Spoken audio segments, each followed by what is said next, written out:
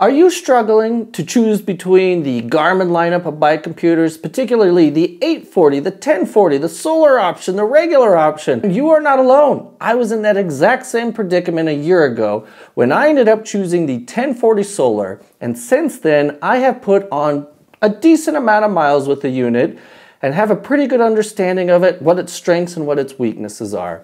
And recently a friend reached out to me and asked me, hey, I'm looking to replace my ancient Garmin 520 with something new, fancy, cutting edge. What are your thoughts and opinions on the 840 and the 1040 and which one do you think is right for me? Well, today we're going to try to unpack what those differences actually are, what my experience with the 1040 has been, what the solar is actually like, and all that good stuff, and try to answer that question and see which one of these is right for you. My name is Grant. This is El Roo Bike.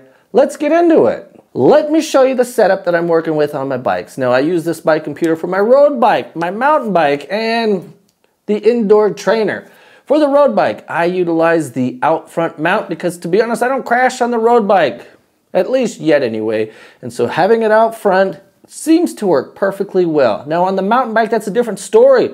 I crash all the time. This thing would not survive. And not only that, it looks terrible when it's mounted out front. You can reverse that option and use the out front mount as kind of an any mount, but that puts it in a terrible, awkward space. I, A, don't like the way it looks. B, it's completely in the way, hits my knee. If I crash, I'm knocking it off. I have found this hybrid mount that's kind of a stem with a bit of a reach extender so it puts it out front and it's out of my way. I'm not bumping it with my knee or my giant belly and it seems to work pretty well. I'll leave a link for it below if you're interested. I've been very happy with it. And along with the Garmin 1040 Solar, I've got the Garmin Rally pedals, which feed my power and my work information into the unit, which then I put either into Garmin Connect or the Training Peaks app. So that's my setup. Let's move on to try and figure out what the differences are and how do you choose the right one for you between the 840 and the 1040. According to Garmin, this is directly on their website.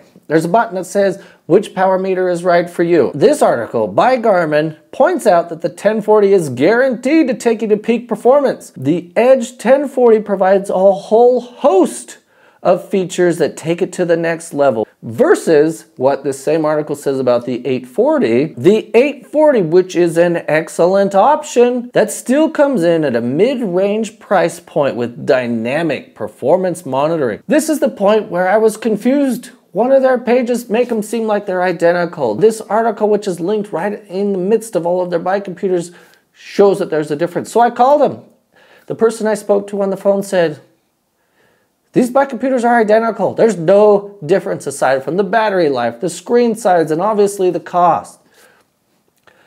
I'm going to leave it there because to be honest, I don't know if there's any features that one has that the other that the other doesn't have. So we're going to move on to the things we can verify are different. First one, obviously, the size. It's not only bigger, it's heavier, actually dramatically bigger. Let me show you here in a side by side you really can't appreciate when you just look at the dimensions. It doesn't mean as much, but this is what it actually looks like in real life. And to be honest, it's a pretty big difference.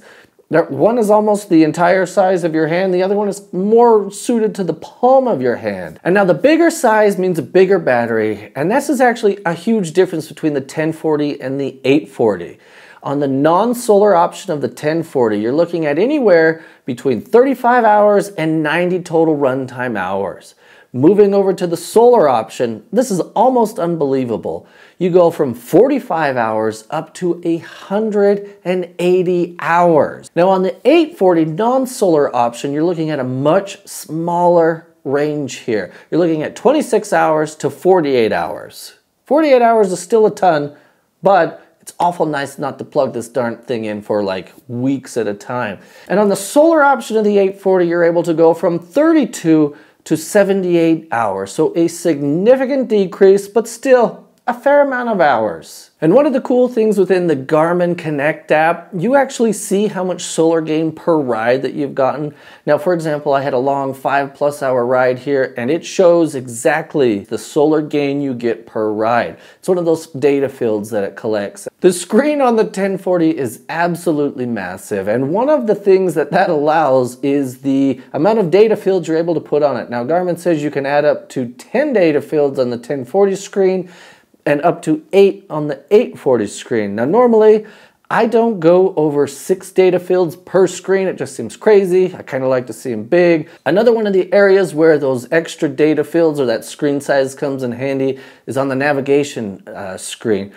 The, on the 1040, it's big enough that you can have a row down at the bottom showing two more data fields. You can show your wattage, your lap time, your speed, whatever is important to you and the map, and you can see navigation prompts up at the top, and you're really not missing out. That is one really nice feature of the giant screen on the 1040. Both bike computers offer the same amount of courses, up to two I think it's up to 100 courses and up to 200 hours of ride history. So there's no difference in courses or ride history. It's only in actual map capacity. Lastly, the 840 retails between 449 and 549 for the solar option versus the 1040, which retails for 599 for the regular or 749 for the solar option. So those are the facts, but that doesn't tell the whole story. Let me try to leave you with some actual valuable tidbits here. In choosing between the 840 and the 1040, depending on what your main decision factors are, if price is your main deciding factor here, the obvious winner is the 840. Now, do you go solar? Do you go not solar? To be honest, I don't think the gains on the non-solar version are really worth that extra $100. If price is your main driver, stick with the regular version. It's definitely the best buy, that you get the most bang for your buck. If price isn't the main option, the decision becomes much harder. And to be honest, I have really enjoyed the 1040 with the solar. I hardly ever have to charge the thing. The screen is huge. Once I figured out how to get it up and get it out of my way so I don't knock it on the ground and that sort of a thing, it's an absolute maniac of a machine. So my friend ended up choosing the 840 and to be honest, it's a great size. It's super versatile.